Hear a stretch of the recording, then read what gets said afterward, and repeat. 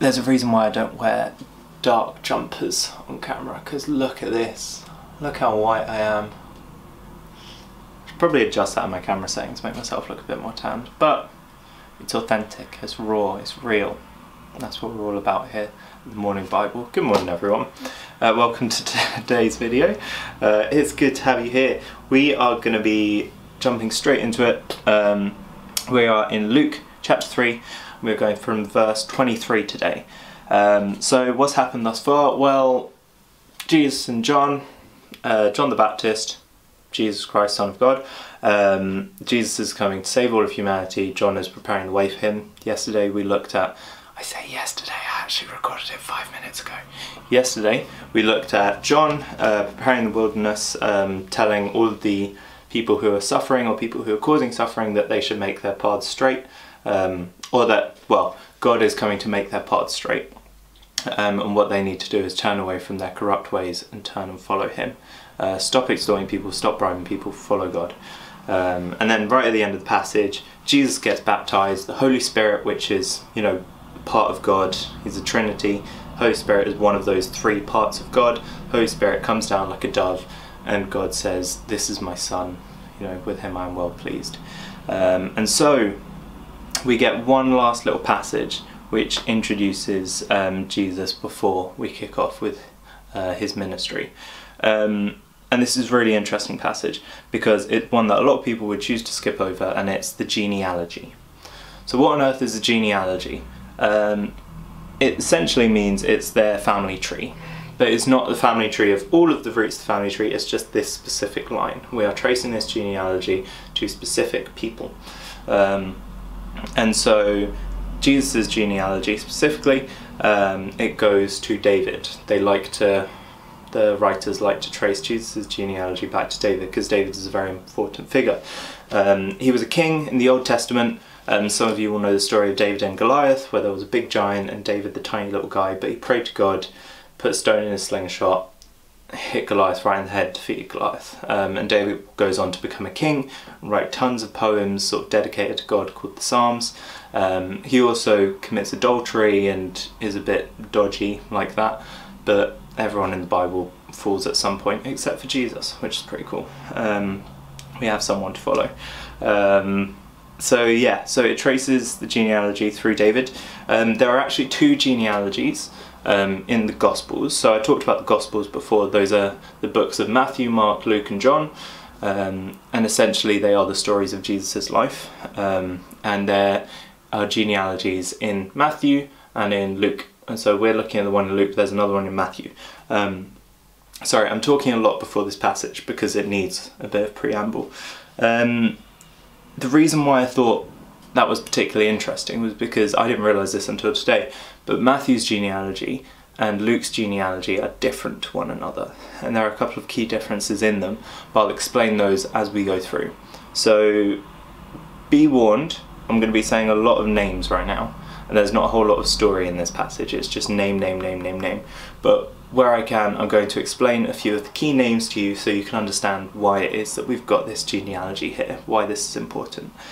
Um, so yeah, let's kick off. I'll skip through the ones that um, I don't know too much about. Um, I'm sure they're all relevant at some point, and I apologise already for my pronunciation because I'm going to get a lot of these names wrong. Um, Jesus, when he began his ministry, was about 30 years of age, being the son, as was supposed, of Joseph. So in brackets it says as was supposed. Um, essentially, by that, Luke is just emphasizing the virgin birth. Like, Joseph isn't actually Jesus' biological father, um, but he is the supposed father. People in the area say Joseph is the father. Um, he acts as Jesus' sort of earthly father, raising him, doing all that kind of thing. And so, in many senses, he is Jesus' father, in the same ways that um, you know an adopted father is the father of someone. Um, you know, is still still a parent. But it's you know Luke is just pointing out is like no this was a virgin birth. He isn't biological father but he was the father. Um, and so then we trace Joseph's genealogy back through history. So let's go. Um, the son of Heli. So immediately we come up with the difference between Matthew's genealogy and Luke's one because Matthew says that Joseph's dad was called Jacob.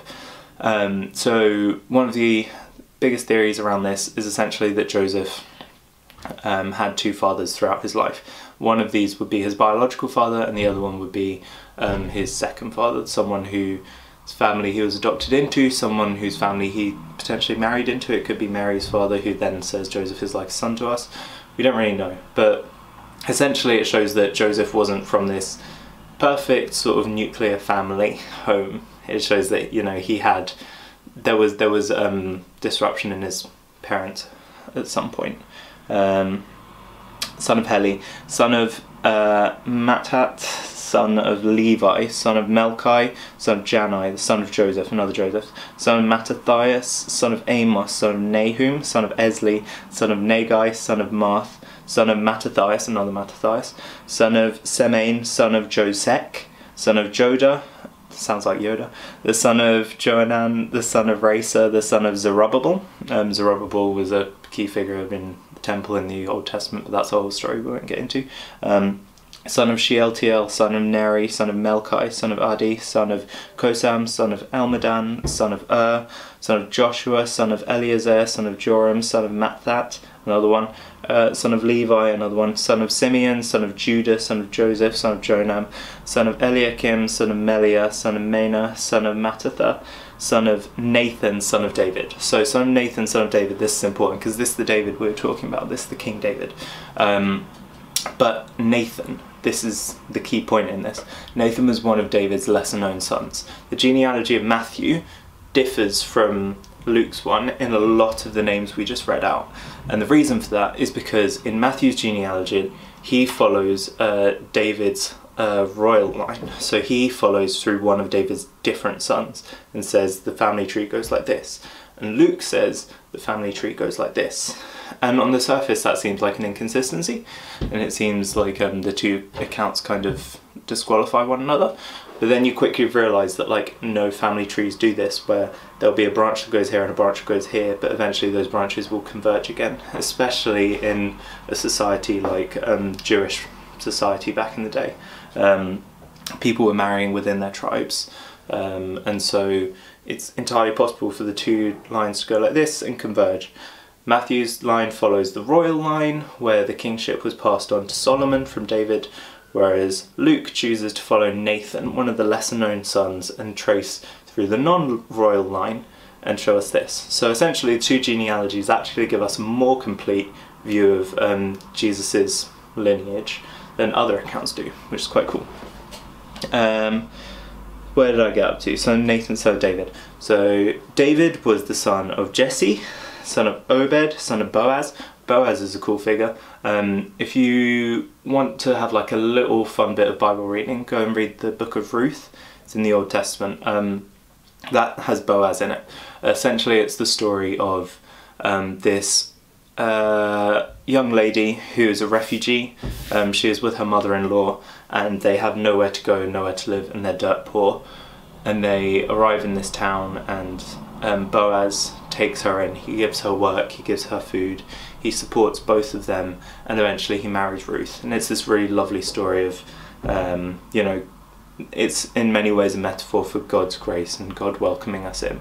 And you really see God acting through Boaz in his marriage with Ruth, and then that family line produces David and you know goes on to then produce Jesus. So you know God really honors that and does a lot of good work through them, um, which is cool.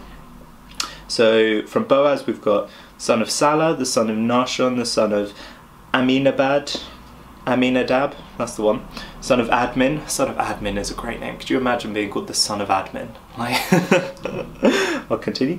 Uh, son of Arni, the son of Hezron, the son of Perez, the son of Judah, the son of Jacob, the son of Isaac, the son of Abraham. That's a really important line right there. So, we'll go from Judah. So, Judah is one of the tribes of Israel.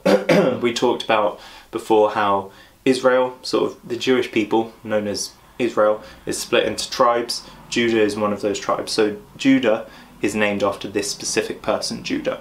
Um, so Judah is one of the tribes. Judah was the son of Jacob.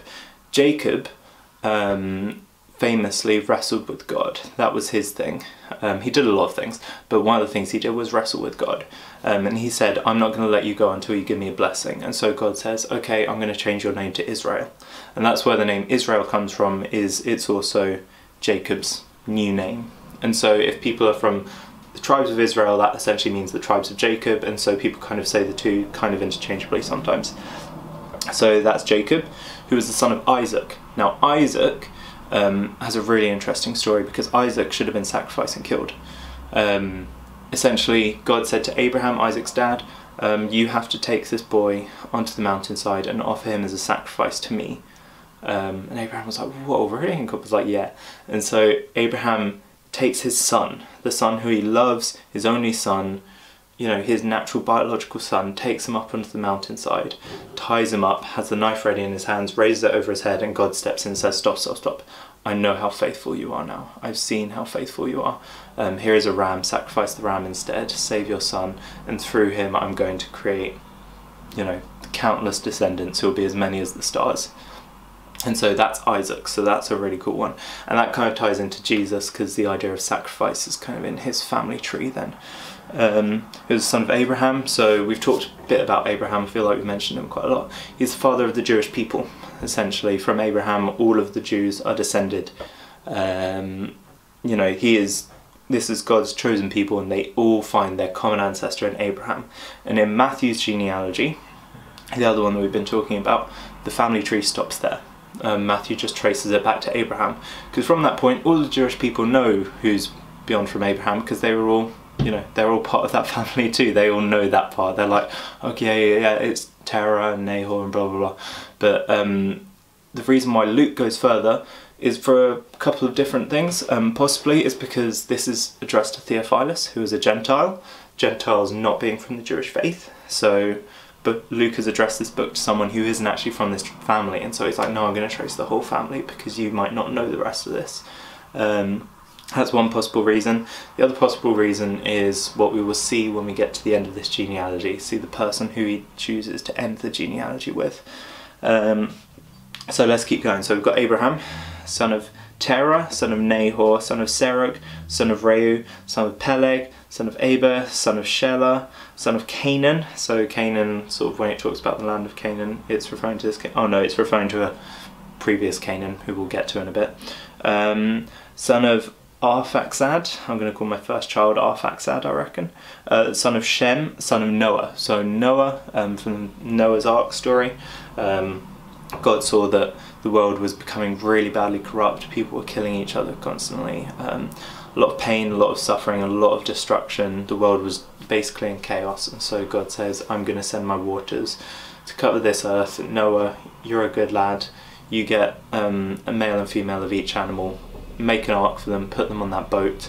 Um, and so Noah and his family and all these animals stayed on this ark for a year while the earth was flooded, the waters receded, and he went off the ark and from there um, sort of re- rebuilt the world.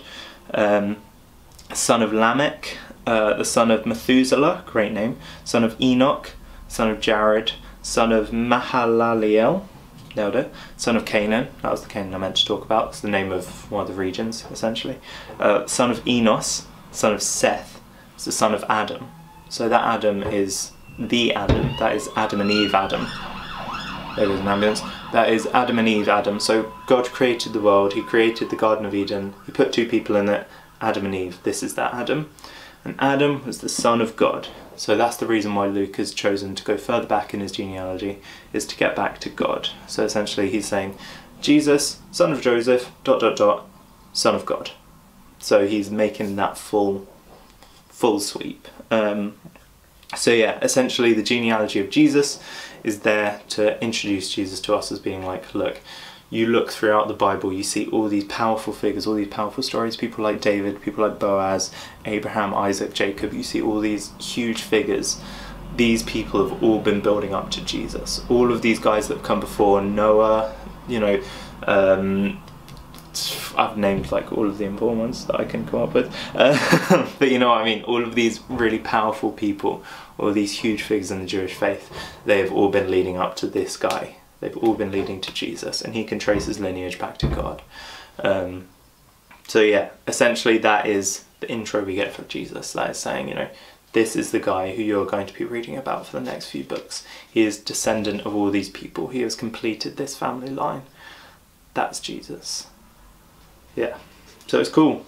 So tomorrow um, we've got a little bit more. Well, not tomorrow because tomorrow is Sunday. Monday we've got a little bit more um, of Jesus before his ministry, where he goes into the wilderness, which is cool. So we saw John in the wilderness. Now we're going to see what Jesus does in the wilderness. Um, and then he's going to begin his ministry, and we're actually going to get to hear Jesus talking and doing some actual teaching. So I can't wait for that. But in the meantime, stay safe, wash your hands, stay indoors. Um, if you want a Bible, hit me up. I'll give you a Bible. Yeah, peace out. Much love. Bye bye bye.